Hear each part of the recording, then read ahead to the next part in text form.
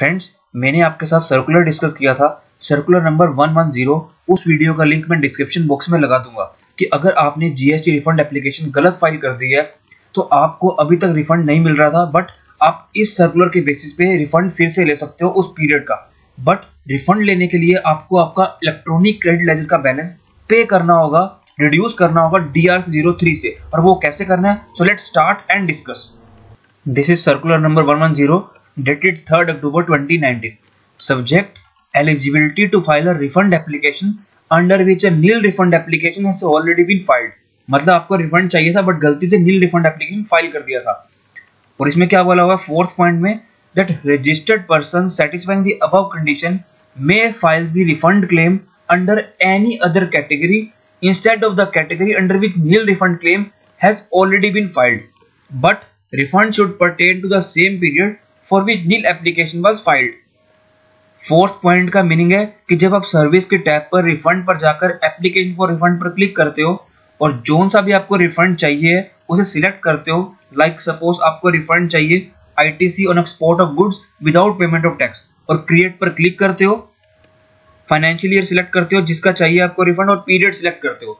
फिर उसके बाद गाइज़ आपके सामने ऐसा डायलॉग बॉक्स आता है do you want to file nil refund for the selected period आपको इसको करना होता है गाइज़ नो बट सपोज़ अगर आपने इसको कर दिया गलती से यस कि हाँ हमें नील रिफंड चाहिए तो आपको अभी तक इस सर्कुलर के बिना रिफंड नहीं मिल रहा था. बट अब आप इस सर्कुलर के बेसिस पे रिफंड ले पाओगे और आपको करना होगा क्लिक एनी अदर कैटेगरी में. अभी आपको दिखाता हूँ. उस केस में गाइज़ आपको यहाँ पर क्लिक करना होगा जो सा भी आपको रिफंड लेना है जिस पीरियड का. मतलब आपने अगर पहले excess balance in cash ledger के लिए अप्लाई किया था बट गलती से नील फ़ाइल कर दिया था, या आपने रिफंड ऑफ़ आईटीसी अप्लाई किया था because of export with payment of tax या विदाउट पेमेंट ऑफ़ टैक्स या एसईजेड को सप्लाई की तब रिफंड के लिए अप्लाई किया था, या इन्वर्टेड ड्यूटी टैक्स स्ट्रक्चर के कारण आपको रिफंड के लिए अप्लाई किया था बट गलती से नील के लिए अप्लाई कर दिया था तो उस केस में अब आप क्या करोगे?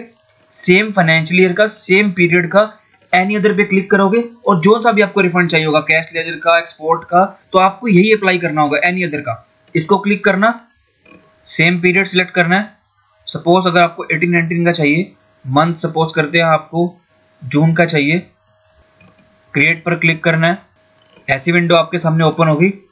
रिफंड स्पेसिफिकेशन में आप लिख देना कि आपने इस पीरियड का रिफंड अप्लाई करा था, इस कैटेगरी में कैश लेजर का या एक्सपोर्ट का या एसीजेड का। बट आपने गलती से नील फ़ाइल किया था तो सर्कुलर के बेसिस पे सर्कुलर का नंबर लिखना, हम फिर से फ़ाइल कर रहे हैं एनी अदर कैटेगरी में। नीचे अमाउंट लिखना कि किस कैटेगरी में कितना आपको रिफंड चाहिए आईजीएसटी सीजीएसटी एसजीएसटी में। बैंक अकाउंट नंबर सिलेक्ट करना सपोर्टिंग डॉक्यूमेंट अपलोड करने, अभी आपको दिखाता हूँ। फिर नीचे क्या होगा? वेरिफिकेशन होगी अंडरटेकिंग होगी कि हाँ आप ये रिफंड जो क्लेम कर रहे हो, सही तरीके से क्लेम कर रहे हो। अगर कुछ गलत होगा तो ये आपसे रिकवर कर लिया जाएगा अलॉन्ग विद इंटरेस्ट नीचे सेल्फ डिक्लेरेशन हो जाएगी, उसके बाद आपका फ़ाइल हो जाएगा। डॉक्यूमेंट्स आप ये लगा सकते हो guys GST one three B L U T copy CCR register GST certificate undertaking that your company qualify for refund of service F I R C copy अब एक बार आपने रिफंड अप्लाई कर दिया एनी अदर कैटेगरी में GST officer आपके refund application को check करेगा further upon scrutiny if proper officer is satisfied that amount claimed is payable as refund तो वो आपको रिक्वेस्ट करेगा राइटिंग में कि आप अपना आईटीसी का बैलेंस डेबिट करो इलेक्ट्रॉनिक क्रेडिट लेजर का बैलेंस डेबिट करो डीएस ज़ीरो थ्री से। He shall request the taxpayer in writing to debit the said amount from his electronic credit ledger through form D R zero three और उसके बाद ही आपको refund order issue करेगा R F D zero six में और payment advice देगा R F D five में। पेमेंट करने के लिए आपको सर्विस में जाना है यूज़र सर्विस में जाना है और माई एप्लीकेशन में क्लिक करना है। क्लिक करते ही आपके सामने ऐसी विंडो आएगी और आपको यहाँ सिलेक्ट करना होगा कि intimation of voluntary payment D R zero three इसे सिलेक्ट करना होगा और न्यू एप्लीकेशन पर क्लिक करना होगा। क्लिक करते गए आपके सामने ऐसी विंडो आएगी कोज ऑफ़ पेमेंट में आपको सिलेक्ट करना होगा कि आप किस रीजन से पे कर रहे हो। अगर कोई जीएसटी नाइन में पेमेंट होती है तो एनुअल रिटर्न सिलेक्ट करते हैं। जीएसटी ऑडिट में होती है तो रिकंसिलेशन स्टेटमेंट सिलेक्ट करते हैं। कोई नोटिस आया था तो एस करते हैं। अपनी मर्ज़ी से कोई पेमेंट कर रहे हैं कि हाँ हमें लगता है कि हमने पे नहीं किया हो तो वॉलंटरली सिलेक्ट करते हैं। अब कोई और रीजन होते तो आप सिलेक्ट करते हो अदर्स तो अभी ये हम कौन सी कैटेगरी के लिए अप्लाई कर रहे हैं? एनी अदर कैटेगरी के लिए रिफंड के लिए। तो आपको कोजो पेमेंट में सिलेक्ट करना होगा अदर्स सिलेक्ट करने के बाद आपको सेक्शन नंबर भी अदर्स ही सिलेक्ट करना है। और अदर्स में आप दोगे सर्कुलर का नंबर और लिख दोगे कि हाँ हम ये रिफंड एप्लीकेशन नील फ़ाइल किया था और फिर से फ़ाइल कर रहे हैं। फाइनेंशियल सिलेक्ट करना सपोज़ 18 19 है। ओवरऑल टैक्स पीरियड सिलेक्ट कर लेना। सपोज़ आपको क्वार्टर का अप्लाई करना था अप्रैल टू अप्रैल 18 से जून 18 तक। एग्जांपल ले रहा इसमें सिर्फ़ आपको समझाने के लिए। ये सिलेक्ट करने के बाद नीचे पीरियड आएगा फिर से। सपोज़ अप्रैल का 18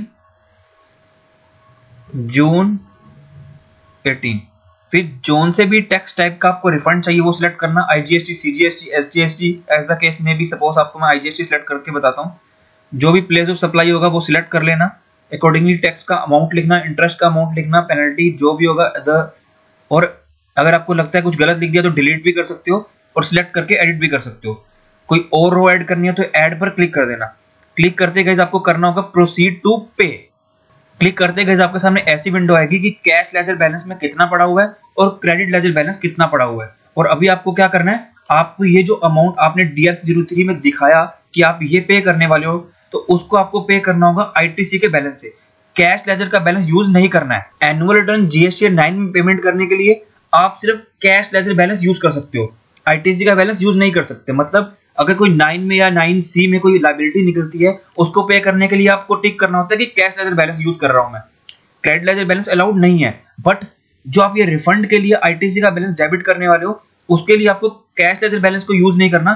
क्रेडिट लेजर बैलेंस को यूज़ करना है और उसके लिए आपको क्या करना होगा? सेट ऑफ़ पर क्लिक करना होगा। इससे क्या होगा? आपका क्रेडिट लेजर बैलेंस रिड्यूस हो जाएगा, जिसका आपको रिफंड लेना मतलब जितना अमाउंट आपने यहाँ लिखा होगा, उतना अमाउंट आपके आईटीसी के बैलेंस से डेबिट हो जाएगा। सेट ऑफ़ करने के बाद वेरिफिकेशन पर क्लिक करना, नीचे नेम ऑफ़ ऑथराइज सिग्नेटरी लिखना प्लेस लिखना डीएससी लगा देना और प्रीव्यू चेक कर सकते हो कि हाँ ये कैसा फ़ाइल हुआ है अमाउंट कैसे डेबिट हुआ है और फ़ाइल पर क्लिक कर देना।